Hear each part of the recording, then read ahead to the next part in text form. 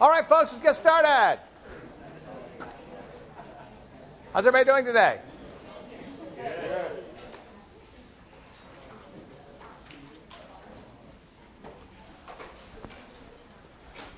So I'm going to finish up talking about um, eukaryotic DNA replication. As I said, a lot of the same structures and stuff are the same strategies we see in eukaryotic uh, DNA replication compared to prokaryotic, but there are some important differences, and those important differences turn out to be really interesting.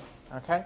So I'm going to uh, talk a little bit about those today. It's one of the things that's some, some of the most common questions, or the most common uh, questions I get in my lectures actually come from this lecture. So um, I hope it's because you're interested, not because I'm so confusing. So, but you never know. All right. So um, I finished talking about repair yesterday. I finished talking about recombination yesterday. So what I haven't talked about is uh, what happens in eukaryotic cells. So eukaryotic cells, I'll remind you, are the cells of higher organisms. Plants, animals, even yeast are eukaryotes. Organelle, uh, I'm sorry, organisms that have in their cells organelles. Anything that has a nucleus, has a mitochondrion, has endoplasmic reticulum, any of these various organelles, if it has those in its cells, it's a eukaryotic organism. Okay? Eukaryotic organisms are more complex than prokaryotic organisms are. All right? A lot of the complexity arises from the fact that A, there are histones, and the histones are wrapping up that DNA, and there's a lot of consideration that has to be given to unwrapping those histones when the cell needs to do something with that DNA. Okay? So that's a very important consideration. Another very important consideration in multicellular eukaryotes like us, like plants, okay, is the fact that things can get out of control. All right? Well, let's imagine two situations. Let's imagine I'm a yeast, and let's imagine I'm Kevin Ahern. Some people would say there's not much difference, although the yeast can make beer, and Kevin Ahern isn't very good at that. Okay? Bad joke, okay? I was hoping for a better one than that, but okay. All right. So the yeast has a single cell, all right? That single cell can divide and divide and divide and divide, all right? I have trillions of cells, and they can also divide. But their division must be coordinated, all right? So, for example, the bone cells in my left leg are hopefully dividing at about the same rate as the bone cells in my right leg, or I end up walking weird, right? So I have to control how my cells divide. That control of my cell division gives my appearance. It gives me functionality in terms of what I do. And so eukaryotic cells, especially in multicellular organisms, have to control when to divide and when not to divide. We're going to see some things that affect those later on in the term. But I just want to plant the idea in your head that there has to be some control over division versus non-division. Right? In the, eukaryotic cell, in the eukaryotic cell, division is controlled at the, each cell's level. And cells go through what's called a cell cycle. You probably learned about this in basic biology. Cell cycle being divided into a period of growth and metabolic activity. Activity. I've got to read those more carefully. All right. We have a synth synthesis phase called S, in which DNA is replicated. We have a second phase called G2, in which is growth and preparation for cell division, division, and finally mitosis, where the cells separate. Okay, these four phases of a cell cycle are, as they say, are very, very orchestrated. There's very much control over those, and when control of the cell cycle is lost in a multicellular organism, we have cancer.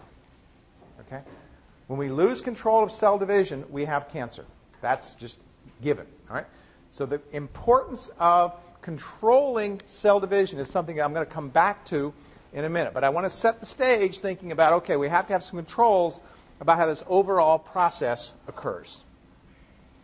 Okay. Now, in order for cells to divide, cells have to um, replicate their DNA.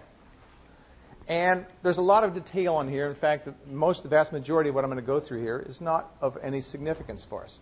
But I'm going to talk about two components of replication of eukaryotic DNAs that are really important, okay, and that affect human health. All right. So the first of these is um, the cells actually in that cell cycle that I showed you have a quality control system. Quality control. When you think about quality control in a factory, a quality control in a factory is making sure that the output of the factory, that is the material the factory is producing, is of high quality because you don't want to be putting junk out that you're selling. That quality control might make sure that if you're working, if you're producing, let's say, a food product, that that food product is uh, not spoiled, it's all in good shape, etc. So we're making sure that what the factory or the, the restaurant or whatever is putting out is of high quality. DNA replication has to be of high quality. If DNA replication is not of high quality, then what happens is the cell is putting out DNA that's been damaged, has been mutated, and mutation is going to lead to lack of control. So cells have, uh, uh, eukaryotic cells have a built-in system that ensures quality control, and it's really interesting. Okay? The system that eukaryotic cells have, or one of the systems that eukaryotic cells have, is called P53. You may have, yeah. One of, the, one of the quality control systems that eukaryotic cells have is called P53. The letter P followed by the number 53. All right? P53 is a protein, and it is what people call the guardian of the cell. It's the guardian of the cell because it ensures that the cell is, has had replication occur with good fidelity and that everything's okay. okay. I won't go into how it does that, but it does that. So let's imagine we've got a cell and it's going along and it's replicating and it's replicating its DNA and its chromosomes and it gets to a stretch where there's a problem. And the DNA polymerase goes, throws its hands up in the air and says, here's a bunch of thymine dimers. I don't know how to deal with this. Okay? The polymerase will stop when it gets to that. So thymine dimers doesn't know what to deal with, right? So when the cell proceeds through the cell cycle, it gets to a point where P53 raises its hand and says, DNA replication didn't finish completely. It literally does this, okay? And it will stop the cell cycle in its tracks. The cell cycle will not move forward, and what P53 will do at that point is it will induce the production of DNA repair proteins. So we talked a little bit about DNA repair proteins yesterday. P53 will cause the cell to start making DNA repair proteins. And guess where they're going to go? They're going to go right to that place where replication got stuck, and the repair proteins are going to go and try to fix the damage. Okay? Now, I think it's pretty cool. If we think about this, your car breaks down, you call up somebody, they come out, and they uh, hopefully repair your car. P53 is doing that for the cell's DNA with repair proteins. The repair proteins go to the site of the damage and look to see if they can repair it. If they can repair it, they report back to P53, everything's okay, and P53 says, okay, cell cycle, continue with what you were doing. If they report back to P53 and they cannot repair the damage, P53 will cause the cell to commit suicide. Okay? It will cause the cell to commit suicide. Now, that's really important in a, in, in a multicellular organism. If I have a single yeast cell, for example, and it loses control, is anybody hurt? Nope. If I have a multicellular organism and my chin cells get out of control, am I in trouble? Yes. Okay? So having something to, that, that tells the cells to commit suicide helps prevent those cells that are losing control from taking over. Julia?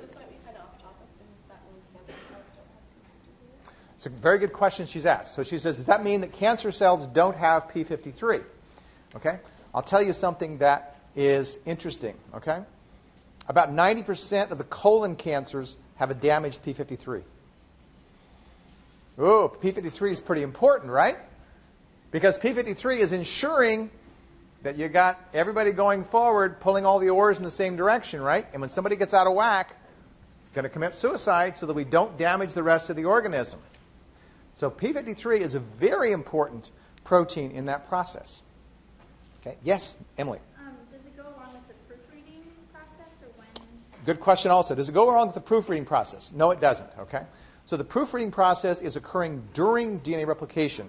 And this is a process that's happen, happening after replication has gotten stuck. But, it's, but I can see where you would, you would see that. It's, it, in a sense, it's like a proofreading in that it's making sure everything is okay, but it's not actually proofreading the DNA. No. Yes? That's fine. Uh, So the, the, the DNA repair proteins that it's Yep. activating are those ones that we already talked about? Okay, so the DNA repair proteins that it's activating are those, the ones that we've talked about. They have different names than the ones we've talked about, but they're performing these very similar functions to what you've already seen. Okay? Pretty cool stuff. All right? So P53 ensures that the cells that are going forward with the cell cycle are those that have had replication occur properly without any big problems. Really neat stuff. Okay? So P53 is an example, we'll talk later in the term of what I, we refer to as a proto-oncogene. Proto-oncogene. An oncogene is something that causes cancer. We'll talk about the difference later between what a proto, you don't need to know that term at this point, I'll tell you later.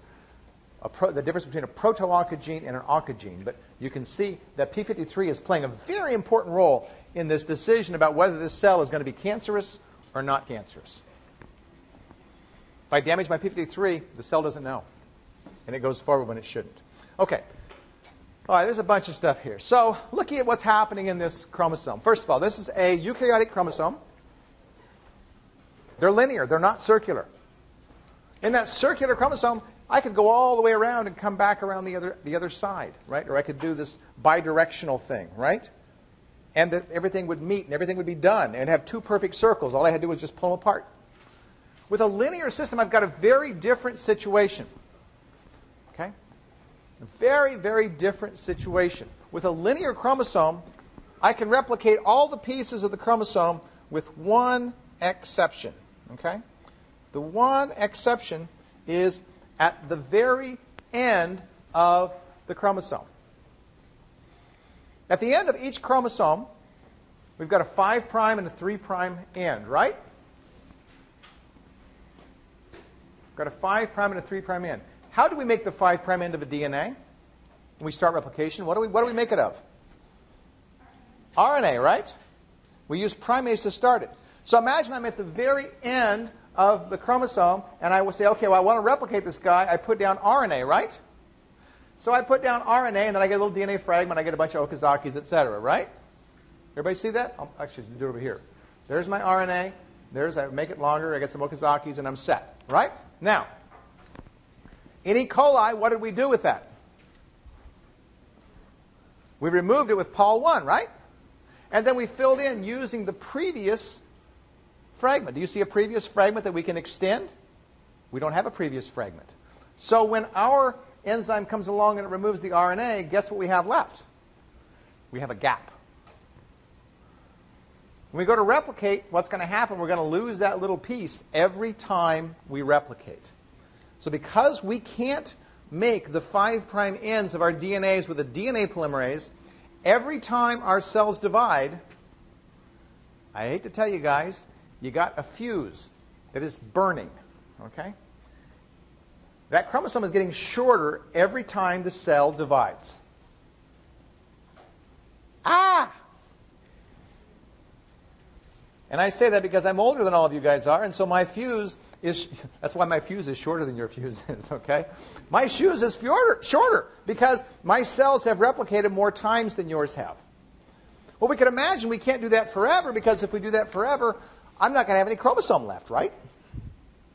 I'm not going to have any genetic material, and of course, I have to have genetic material, right? Well, I've got one insurance policy. Actually, I have a couple, but one main insurance policy I have is my cells know that I have to have chromosomes.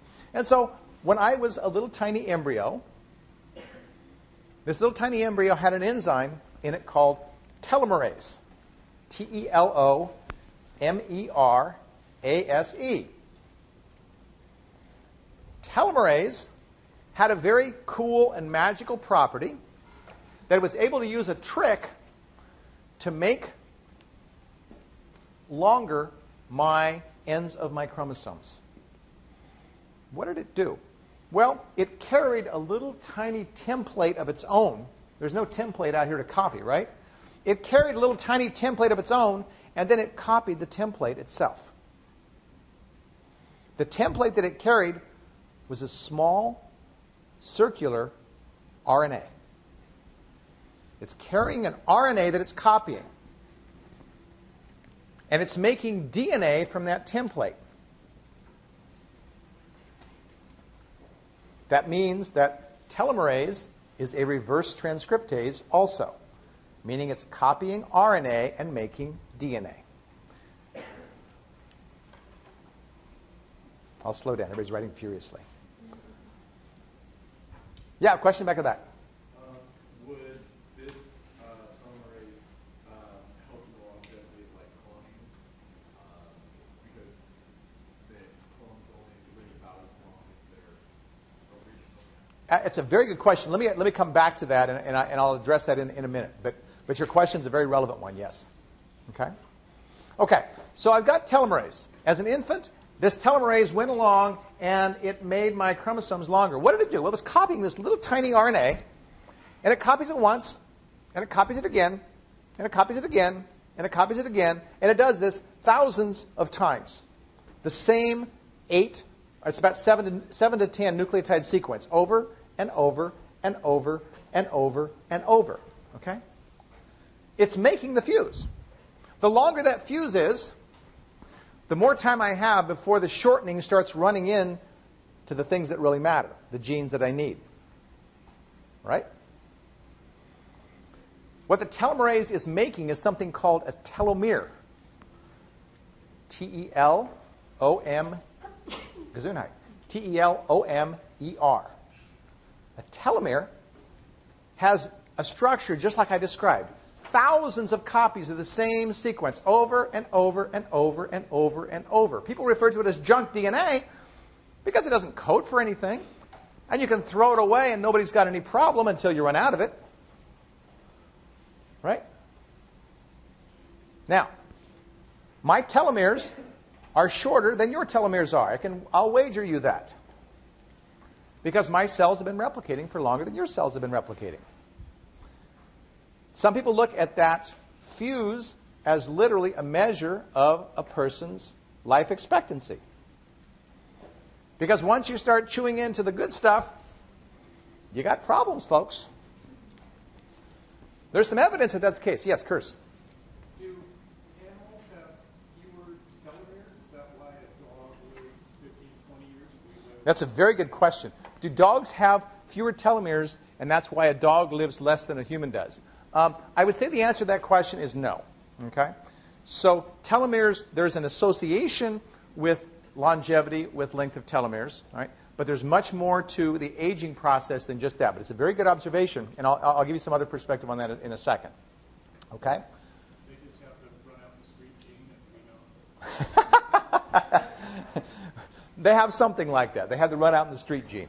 So, um, in the case of, of, of uh, other organisms, and in fact, the aging process itself is not fully understood. So, it's not the length of the telomeres solely that's the, the answer, okay? What I haven't told you is we do have some cells that have a functional telomerase. First question people ask is will we live forever if we activated telomerase? Well, maybe and maybe not, okay? There's two types of cells that have telomerase in us, right? Our stem cells have an active telomerase. We've heard of stem cells. They're the ones that, you know, seem to have this resiliency and so on and so forth. So they, they, uh, it's useful that they have an active telomerase so they can keep themselves in a relatively youthful state. They turn into other cells in our body, differentiated cells. Stem cells are not differentiated, okay? The other cells in our body that have an active telomerase are ones I don't want to mess with. They're known as cancer cells. One of the concerns is if I activate telomerase in places where it shouldn't be activated, will I, in fact, induce cancer? Yeah, maybe. Maybe. Okay. Now, this actually turns the, the question around just a little bit because now people think, well, oh, if cancer cells have telomerase, what if I design a drug against telomerase so I stop telomerase? Will I kill or stop a cancer cell from growing? And the initial evidence to that question seems to be yes in some cases. Stopping telomerase can, in some cases, slow or stop the growth of cancer cells because they burn themselves out. That's kind of cool. Stop your other cells do though? You might have other problems associated with that. Very good question. You very well might have other problems associated with it. There's no drug you're going to take that has no side effects. Okay? Yes, question. Does the length of telomeres uh, vary between person to person? Does the length of telomeres vary from person to person? The answer is yes, they will. So the amount of lengthening that happens in the embryo is not completely understood, and there it may be somewhat of a randomness to that. Okay? Will I be able to look at my telomeres and decide how long I'm going to live? Probably not. Probably not, because there's other variables here like stem cells and so forth that, that enter into this uh, equation. Yeah? Um, can factors like stress throughout like person's life? That's a really good question, also. So, her question is Can factors like stress affect um, uh, telomere length and so forth? And there, is some, there are some suggestions that, in fact, stress and certain um, um, things in our diet may, in fact, affect how active our um, telomerase is in our stem cells. That may be affecting our overall length of our telomeres. Okay? So, yes, those may very well be factors. Okay? Yeah? So is this in all your cells when you're developing as a fetus? So the question is, is the telomerase in all of your cells as you're developing as a fetus? The answer is yes. So then what happens once you're born and does oxygen now die or something? Okay, so when you're born, what happens? Well, what happened to your fetal hemoglobin? You stopped making it. You switched, right? So during the process of development, during the process of differentiation of cells, you have tremendous numbers of changes of proteins that are being made in larger quantities, smaller quantities, not being made in some cases, new ones being made. So there's a very, very wide range of those. Telomerase just happens to be one that gets shut off. Yeah. And probably for good reason. Probably for good reason. I don't want all my cells dividing forever. Do you think if, if you didn't stop making it after the fetal stage, that would increase your possibility to get cancer? I think it would be harder to stop cancers if everything had telomerase. Yes, I do. Yeah. Yeah. It'd Be nice to have a fountain of youth, though, wouldn't it? Um, I, I uh, teach a class in the winter term called molecular medicine. And one of the things we talk about in there is longevity and some of the remarkable things that we're learning about longevity at the molecular, molecular level. Telomerase is only one of the enzymes uh, that we're interested in, in with that. But you can see with telomerase a pretty direct connection between the function of that enzyme and what you would expect the life expectancy of a cell would be. I'll tell you one other brief story about telomerase, uh, or about, about telomeres, rather, I should say. And that is, um, I don't know if you guys, you guys are probably all so young now, you don't even remember when Dolly the sheep was first cloned, but I'm old enough that I remember that. Okay. Oh, all right. So everybody, oh yeah, we remember that. I'm sorry. Okay. So uh, Dolly the sheep was the first uh, mammalian uh, organism cloned, and Dolly was made by taking uh, a cell from uh, the mother sheep and then uh, removing the nucleus and putting it into replacing the nucleus of, a, of an egg cell with that. And um, the question then was well, you started with a mature nucleus from a mature cell. You're starting out with something that has already shortened telomeres, right?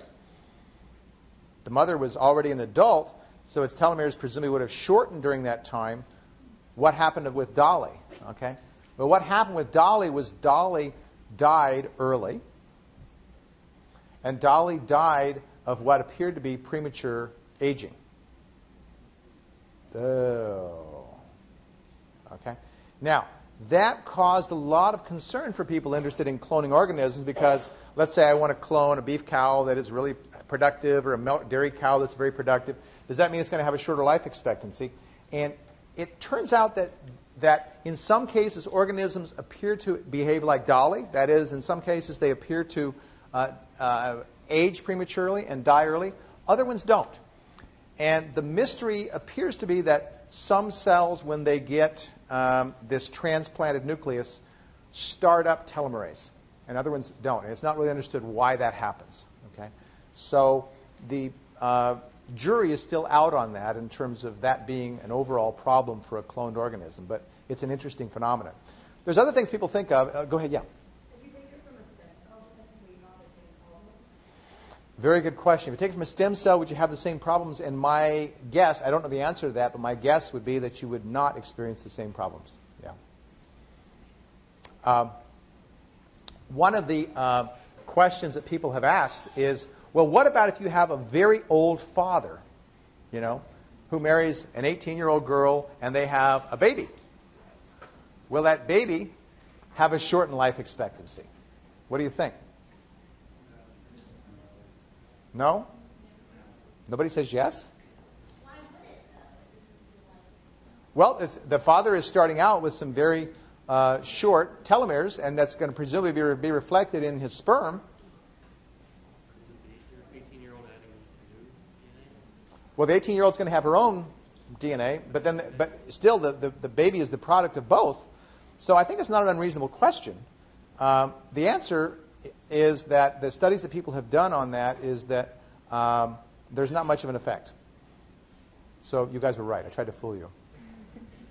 Okay.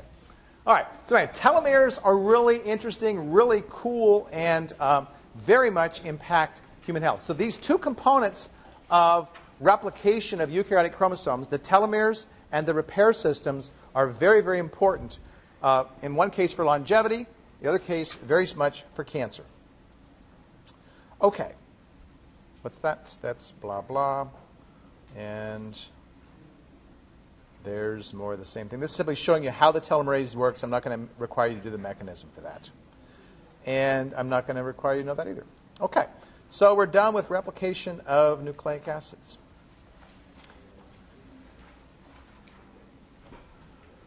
Okay, so I want to turn our attention now, after I tell you a joke, to transcription. Ready for a joke? Okay, so I don't have a good song for today, so I thought I would tell you a joke. All right. Um, there's this lady, and she's looking for a present for her husband. Okay?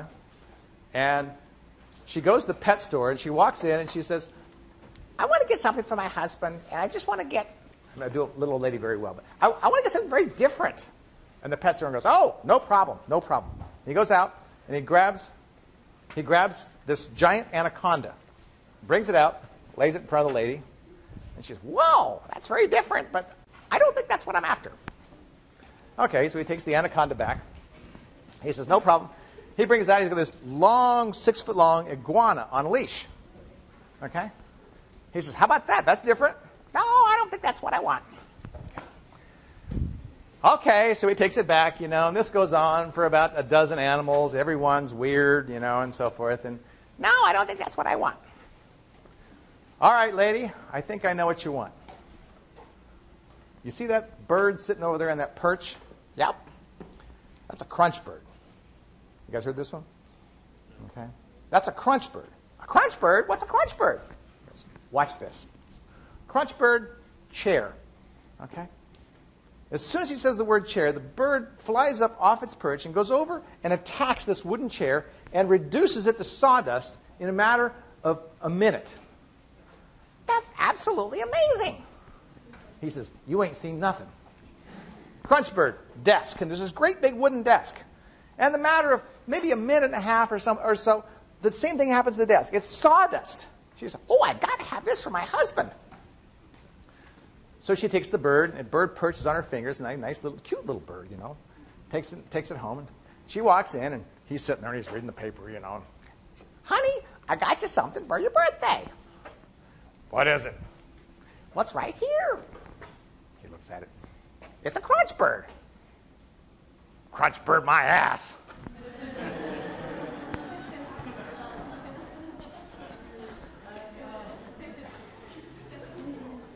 no. Okay. Now for transcription. Something less fun than crunch birds. Okay? All right, so remember I said the central dogma we had DNA replication. We had RNA synthesis, which was called transcription, and we had protein synthesis, which was called translation. So we're in the middle part of the central dogma right now we're making RNA. The synthesis of RNA is a little similar to DNA, and it's different in several respects. First of all, the similarity. RNA is copied from DNA, just like DNA is copied from DNA. RNA, I trust you know, uses uracil in place of thymine, and uracil forms stable base pairs with adenine. Okay?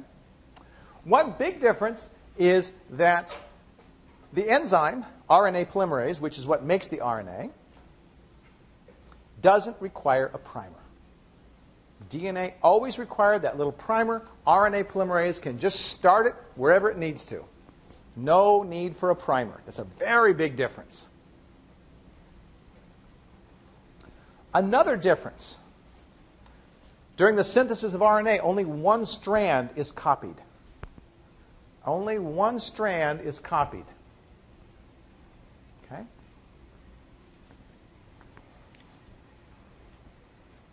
Another similarity.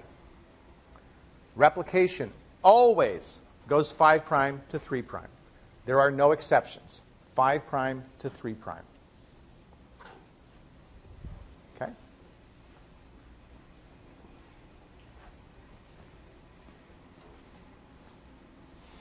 The strand that's being copied, okay, and this is always always confuses students uh, a little bit. If synthesis is going 5 prime to 3 prime, then it must be moving along the other strand oriented 3 prime to 5 prime because they're anti-parallel. Remember? Okay? So the DNA that's being made is always 5 prime to 3 prime. Okay. Well, there's some other things about the synthesis of RNA that's very different from DNA. One thing I didn't tell you about DNA, and I should have, and maybe I'll mention it right here, is that DNA replication always starts at a specific place. Yeah, DNA replication always proceeds at a specific place, and that specific place has a name. It's called an origin, O R I G I N.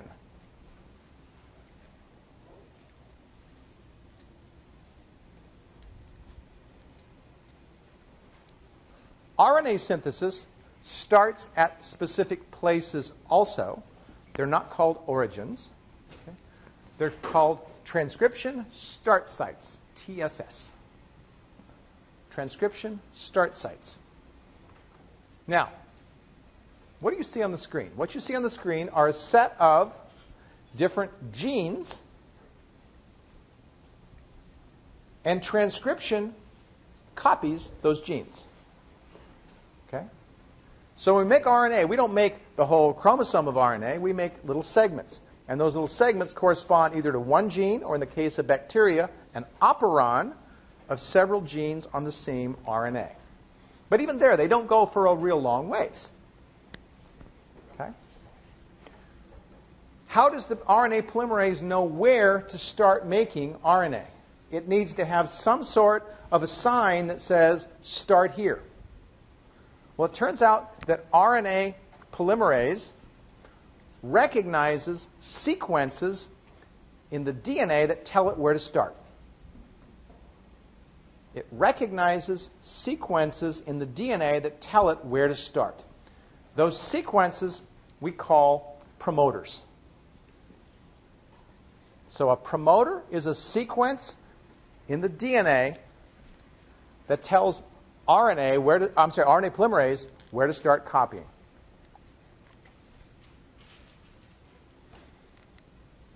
Now, let's look at some promoters. That's what's on the screen. Okay? Here's a transcription start site. Each one is shown in yellow. You see that ones that have a couple means it can start at either one of these uh, bases. All right? You'll notice that, okay, there's A, G, A, T, A. So all the different nucleotides are actually, actually can be used. So it's not nucleotide specific. What is specific is its relation to a couple of boxes that I'm going to describe to you. Okay? So remember that we're looking at a whole bunch of different genes, and we're comparing the promoters of those genes. The promoters are shown in color. These are the sequences that the RNA polymerase is looking for, and when it finds it, it says, okay, here's the place to start, and we start about 10 nucleotides away. All right? the very first base that gets put into the RNA is called the plus one. That's number that's base number one. Everything that's ahead of that, that is prior to it, has a negative number. So here's the Pribnow box, and the Pribnow box has a number of minus 10, meaning it's about 10 nucleotides before that. Okay? The Pribnow box is interesting if we look at it. Okay? The Pribnow box, they're not all identical, but they're all very similar.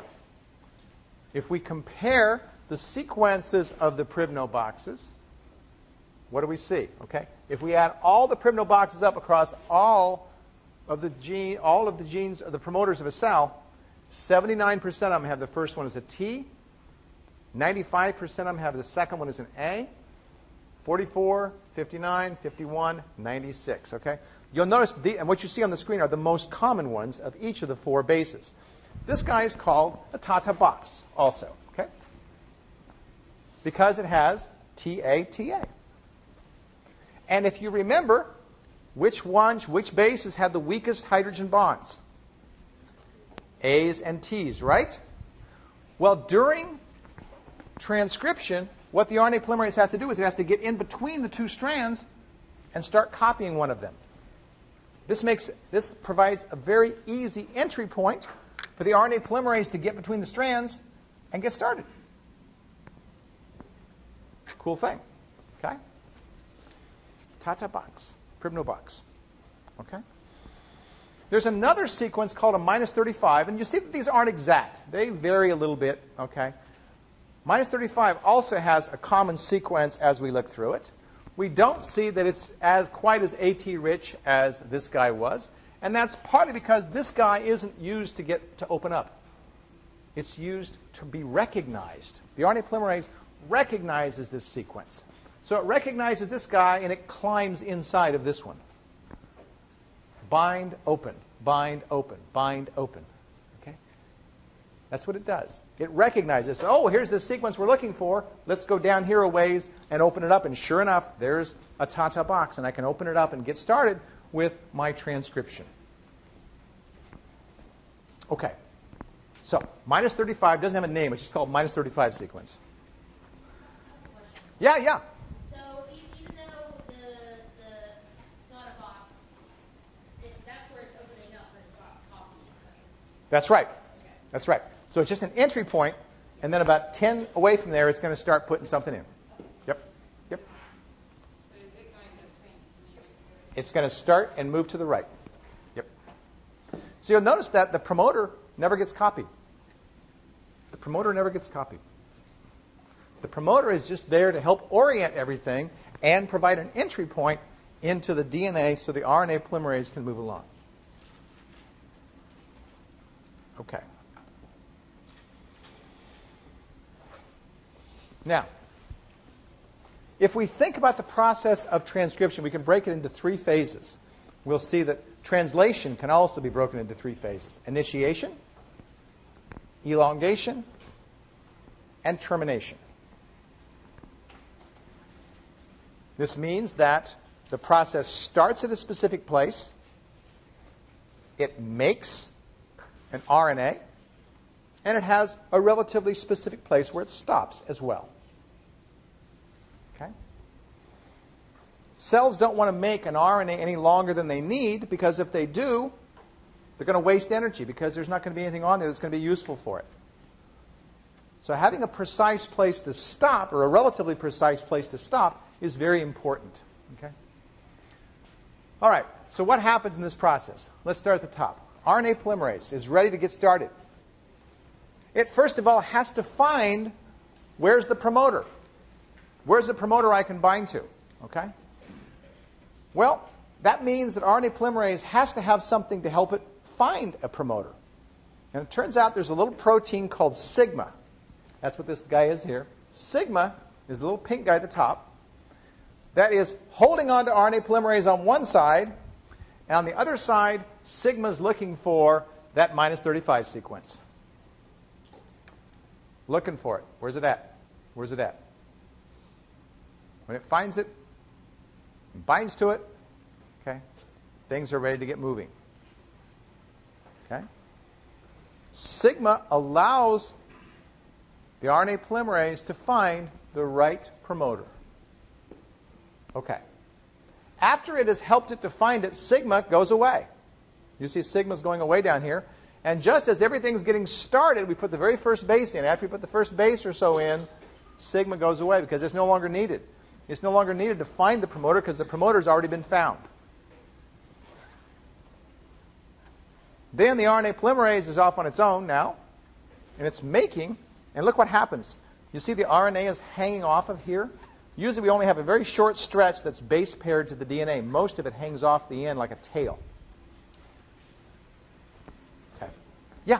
Uh, So is every sigma protein unique to each promoter, or is it? Oh, very good question. Very good question. Let me tell you a little bit about sigma, sigma protein since you've asked the question. Okay, so cells have uh, uh, uh, E. coli cells have a few different ones. Okay, most commonly they have one.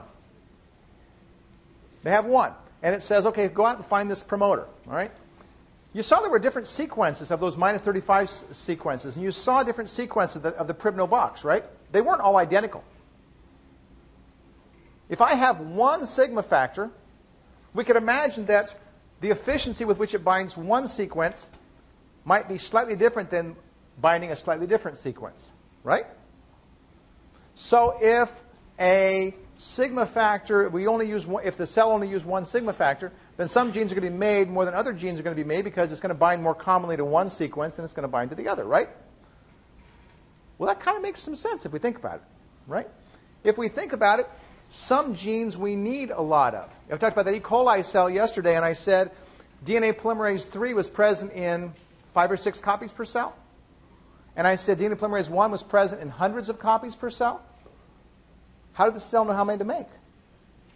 Well, one of the ways the cell knows that is by how many RNAs it makes. So the efficiency with which sigma factor binds provides a bit of discrimination for how many of an individual protein is made. Okay? Now, I haven't got to your, your question. I'm, I'm coming to that. But that's, you start to see how one sigma factor could do that. Well, can one sigma factor take care of all the possible needs that a cell might have? Well, it turns out it can't. I'll give you a real good situation. Okay? Let's imagine that I'm an E. coli cell and I'm floating around in Kevin Ahern's gut, having a life of luxury. He eats ice cream periodically, and I got all this stuff coming down, and, and uh, I've always got this constant supply of food going by me. And then one day, Kevin Ahern gets sick and runs a fever. Okay? I run a fever, my temperature might go up a few degrees, and you say, oh, a few degrees not a big deal. Well, a few degrees turns out to be a big deal for some proteins because you've seen what happens when we change the temperature of a protein. What happens? We're going to change the shape, right? We denature, we may have problems, right? So that few degrees of fever might be a situation that's very different. What's the sigma factor going to do now? Well, it turns out that when those conditions arise, it's called heat shock. It happens in almost all cells. Okay? The way that your cells, your cells recover is very similar. Okay? Heat shock is a phenomenon where the cell has to do a different strategy. And what the E. coli cell does is it makes a different sigma factor when that occurs. Not the usual one, but now one that is only made when there's a heat shock. And guess what? The new one doesn't bind the same minus 35 sequences. The new one starts binding other sequences. Well, why would it want to do that? Well, one of the things it might want to do is it might want to respond to that heat shock, right? It turns out that the new sigma factor will bind to proteins that help proteins to fold properly. I talked about chaperones. One of the things that the new sigma factor will bind to are chaperone proteins. So now the cell is able to respond. And then when everything goes away, the old sigma factor goes back to being made and everybody's set. Make sense? Okay. So having different sigma factors allows a cell, an E. coli cell, to respond to different environmental conditions. Being able to respond to different environmental conditions is critical for life. The needs of your cells when you are on a starvation diet or running a marathon or going to a tanning booth. You're not going to do that anymore, I hope. Okay? Or any of those things. Your body's got to respond to it. If it doesn't respond to it, it's dead. The way that one of the ways in which our body responds is by controlling transcription. Now, I'm showing it to you in E. coli. E. coli is very simple compared to us, but the same general principles hold. The more RNAs we make, the more protein we're going to make. The fewer RNAs we make, the less protein we're going to make. Okay. Question? Okay. All right. Well, we've done initiation, we've done elongation. I haven't talked about termination. All right. Termination is kind of cool too. Okay. I'm going to talk about two mechanisms of termination. Right. The first one's called factor independent termination. Okay. Factor independent means it doesn't take a factor in order for termination to happen. How does this go? Well, here's a DNA sequence that's part at the very end of a gene. It's being copied. The RNA polymerase is moving through and it's copying it.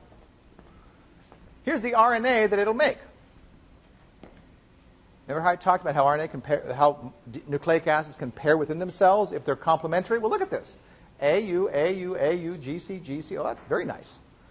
It forms a very nice structure. Well, here's the RNA polymerase. It's coming along. It's making this. It's made all this. And what's, what's hanging off of it is this, right? Part of this is paired to the DNA. I said only a tiny piece of it is. The rest of it's just kind of hanging off. So here's the DNA strand here. Here's this. And now up pops this thing. This forms all on its own. Well, I like to think about this thing as like the jack on your car. When it forms, what does it do? It does this, and it lifts the butt end of the polymerase up. And the butt end of the polymerase is sitting on the DNA. And as it lifts the butt end of the polymerase up, the polymerase is no longer tightly attached to the DNA. There's no beta clamp, for example. It falls off. It falls off. There's something else that's cool here. So this guy forms, the butt end gets pushed up, the polymerase falls off the DNA, and look what's left holding this onto the DNA. U's. What's the easiest bonds to break? TA, right? UA also.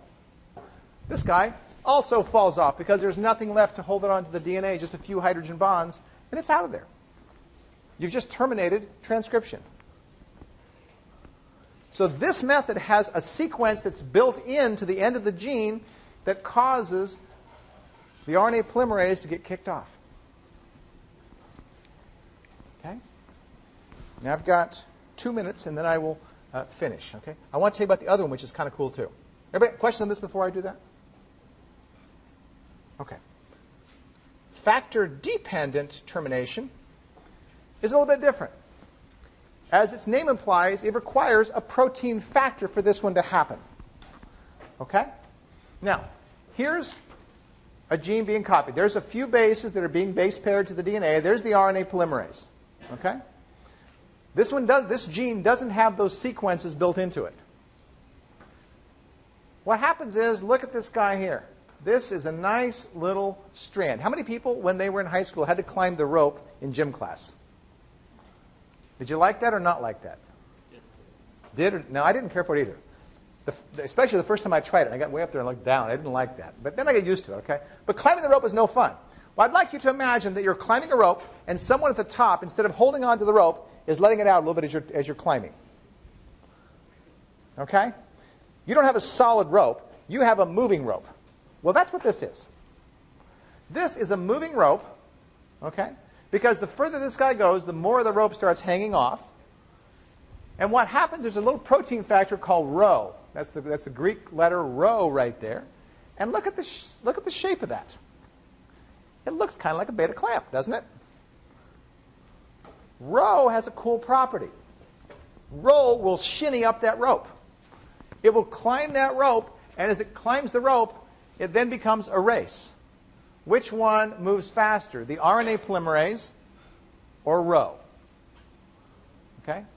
Now, I won't tell you today how that happens, but I will tell you briefly the end, of, and then I'll finish, okay? It turns out that rho goes faster, and when it gets there and catches up with the RNA polymerase, guess what it does? It lifts the butt of the polymerase up, it falls off, exactly like we saw before. Transcription is done. Make sense? Clear as mud? Questions? All right. $2 beers tonight at Bombs Away. That's where I'm headed.